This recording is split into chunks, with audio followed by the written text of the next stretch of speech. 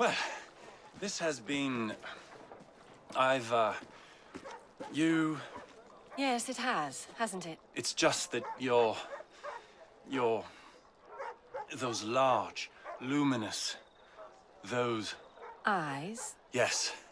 They are bewitching. I can barely breathe, talk, think.